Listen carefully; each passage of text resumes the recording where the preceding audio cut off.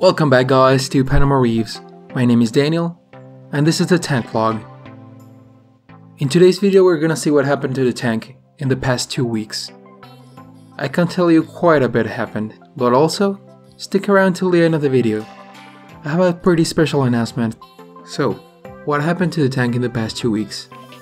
Well, the first week actually was pretty good. There's a new LFS in town, it was started by this pretty cool guy. He broke his tank down and made an LFS. All the corals you see here are from his tank, and looking at them, it must have taken quite a bit of effort and willpower to break down a tank with these corals. Most of them are actually national, grown right here in the shores of Panama, but they look quite pretty, don't they?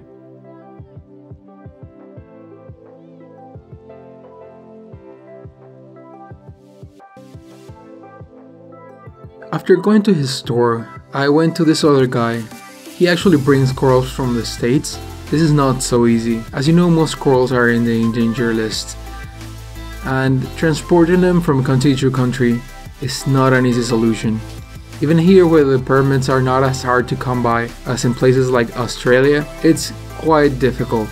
Even if you get the right permits and the right paperwork, which cost quite a bit of money, they can still retain your corals in customs and as you know, any delays in shipping coral can be deadly. So he's taking a big risk transporting corals from the States to here. Due to being a very small community and the regulations in shipping corals internationally, the variety of coral here in Panama is pretty small. And whatever coral you see here, if it's not a national coral, it can be around 30 to 50% more expensive than in the States and even some corals can be double the expense that in the States. So that's why my tank is not as good as, as some you see in the in the internet. I'm actually quite jealous of you guys. You have such a variety. And you really should appreciate it. So, after going to the stores and acclimating the corals, I float them and I do a drip acclimation.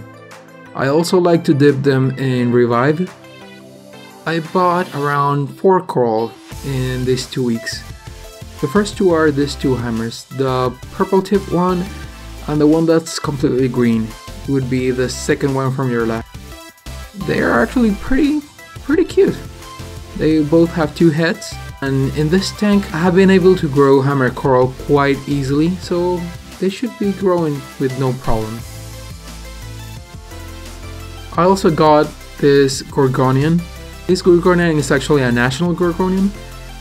You can find it along the northern coast of Panama. So it's pretty cheap. It is photosynthetic, so it should work well where it's placed. I also bought these mushrooms. I have heard that in the States it's a bit more difficult to get Ricordea mushrooms, but all those are national, so one of the good things of living in Panama, I guess and I bought this coral. This coral was actually a bit hard for us to identify. The owner of the coral, he didn't really know what it was. And me and a friend of mine, we tried to identify it, but it took us like three days to identify it. Finally, we came up with it being a Cyphastrea. Cyphastrea really like low light and medium to high flow. So right now it's in the bottom of the tank and in a place where it gets quite a bit of flow from the gyres. You might have seen when I was dipping the coral that I had a fish there. That fish sadly did not make it.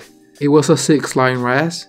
I acclimated for around 2 hours. After that, because the lights were still on, I decided to put it in the tank, but inside a big, big net that I had to let it have like a barrier between him and the other fish.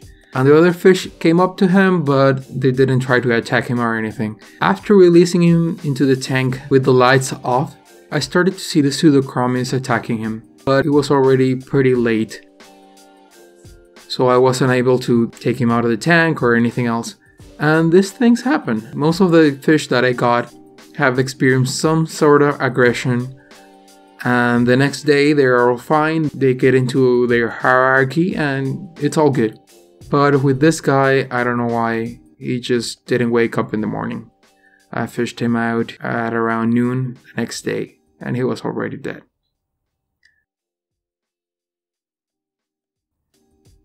The next week, I decided to take things slow and not buy any more things, even though the LFS was packed. Mainly because, even though the only fish I bought died, the corals still have some bioload, and more than that, they drain alkalinity. And since I only dose Kalkwasser, I am having to start really looking into the alkalinity of the tank because I'm starting to grow a lot of coralline algae and as you know, when coralline algae starts to take off, it drains alkalinity like no one else. But it paid off, I think. Almost all the corals are doing great. The Ricordea mushrooms, they are fantastic. If you look at this guy, when I bought him, he was like a 50 cent coin. Now he looks like a silver dollar. He's huge. And I kinda like where I placed him. He's like a little cave. Also the Gorgonia, is opened up and pretty happy. But what can you expect? Gorgonias are beast. Now to the hammers.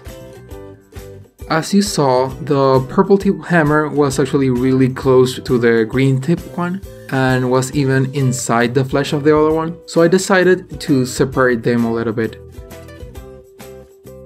And the purple tip hammer is great now. It's even more expanded than before. However, the whole green one he's not that happy. As you can see, he's a bit retracted. Probably when I was moving him, I might have damaged the flesh of the coral, and maybe now it's fighting some kind of bacterial infection or something. So what I'm gonna do is tomorrow when I have to do a water change, I will also dip that coral in some iodine solution to help it if it does have some bacterial infection. Why do I think it's some bacterial infection? Well, LPS usually are more susceptible to bacterial infections than parasites, especially Euphyllia. If they get damaged, they quite easily fall to bacterial infections. And now to the really fun part. As I told you guys in the first tank vlog, I was having some trouble feeding my Acanthophyllia. As you know, meat corals, Scolymia, Acanthophyllia, and Indophyllia really like to get fed. Some people feed them around three times a week. I would want to feed it every day if I could, because it just loves it. So I figured out that if I feed homemade food, mainly shrimp and slices of fish, that the other fish really like it, but also that they take quite a bit to eat it mainly because some slices of shrimp are too big for them. So they end up with the food in their mouth and they don't really like to peck at the food I feed my corals then. So I just bring quite a large piece to the Acanthophyllia and look what happens.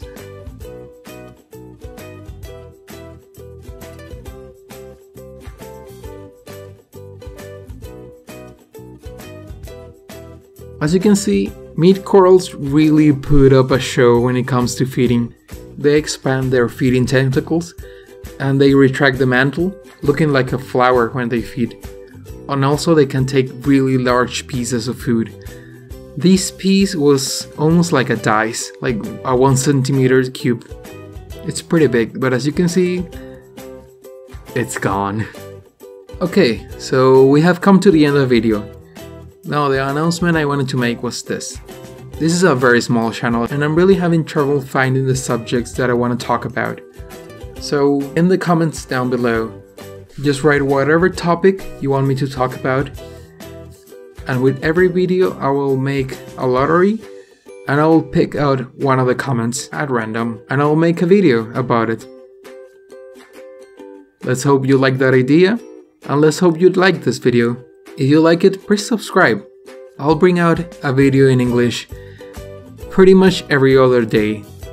So stay tuned for more. I'll see you guys next time. Bye!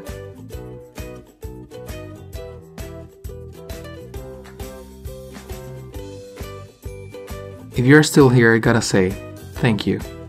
I know this video was a lot longer than usual, and that my pronunciation is pretty bad. so it must have been quite hard to listen to me during this whole time. But I thank you a lot for your time, and I hope to see you in the next one.